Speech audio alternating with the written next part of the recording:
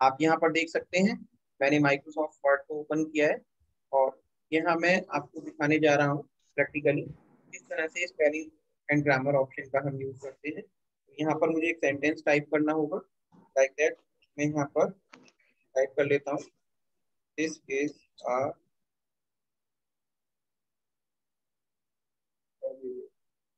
देखिए बच्चों मैंने कंप्यूटर की स्पेलिंग में टी यहाँ पर मिसिंग किया है मैंने नहीं लिखा है ठीक है? तो यहाँ पर ये तो हो गया एक सेंटेंस अब देखिए इसने क्या किया? ऑटोमेटिक करेक्ट कर दिया इसको, है ना? तो ये ऑटोमेटिक ही चेक करता है, लेकिन अभी हम इसको ऐसे ही रहने देते हैं, क्योंकि अब देखिए यहाँ पर रेड लाइन आ गई।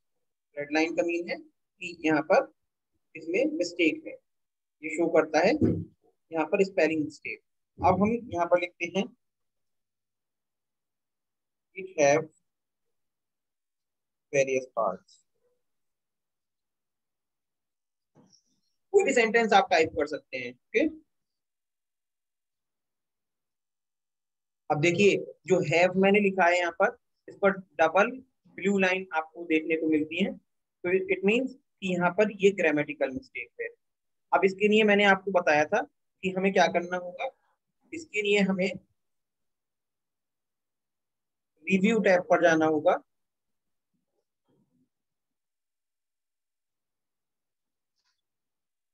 इसके लिए देखिए हम जाएँगे यहाँ पर रिव्यू टैब पर।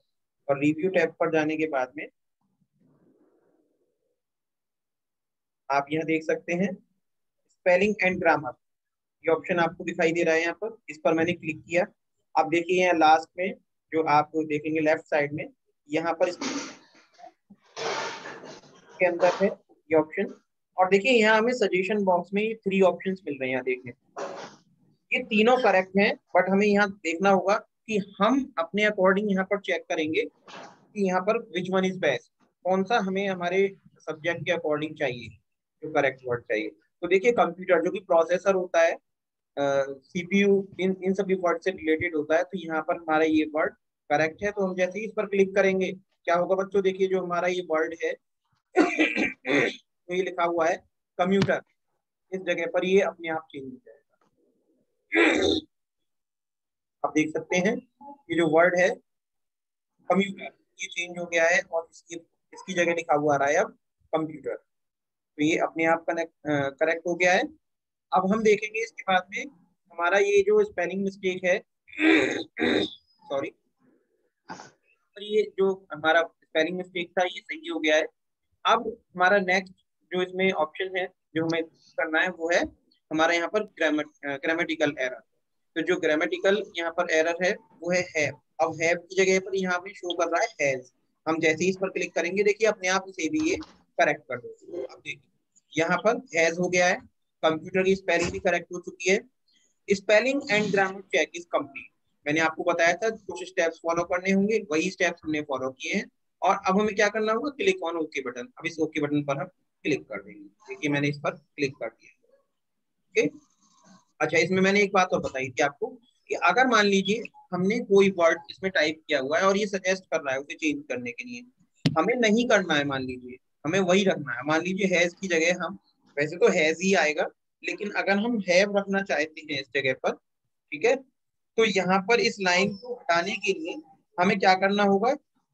प्रीव्यू टैब में जा करके और यहाँ पर हम इग्नोर वन देखिए यहाँ एक ऑप्शन दिखा है इग्नोर वन इस पर क्लिक कर देंगे तो ये इग्नोर अब देखिए कंप्लीट ये इसको यानी कि जैसा अपने रॉन्ग वर्ड लिखा है या राइट इसने ये बोल दिया कि आपका एज इट इज़ वर्ड हमने लिखा रहने दिया। ये तो हो गया इस तरह से। अच्छा अब मैंने आपको बताया था, जैसे कि इसको हम फिर से क्लिक कर लेते हैं। यहाँ से। यहाँ से देखिए, अब हमें इसे करेक्ट करना है तो इसको मैंने एक शॉर्टकट आपको बताया था। जैसे है अब इस पर ये डबल ब्लू लाइन आ रही है। इस पर मैं राइट क्लिक करूँगा कॉन्टेक्स्ट मेन्यू ओपन हो गया यहाँ हैज़ आ रहा है देखिए। इस पर मैं क्लिक करूँगा ऑटोमेटिक ये यहाँ पर करेक्ट हो क्लियर है सभी को? अब हम बात अब हम बात करते हैं थीजर्स के बारे में। अभी मैंने थीजर्स बताया के बारे में जैसे अगर हम बात करें तो यहाँ पर हमारे पास है कंप्यूटर वर्ड हमने इसको सेलेक्ट कर लिया ठीक है? अब इसके बाद में यहाँ से हम इसमें जाते हैं।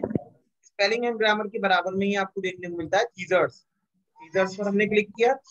अब यहाँ आप देख सकते हैं कि कंप्यूटर से रिलेटेड बहुत सारे वर्ड की एक लिस्ट आपके सामने आ गई। ऐसा ही है ओके अब देखिए, जैसे अगर मैं जो आपको शो कर रहा हूँ लैपटॉप पे, मुझे अगर इस ऑप्शन को चूज़ करना है, यहाँ ड्रॉप डाउन एरो आपको दिख रहा है।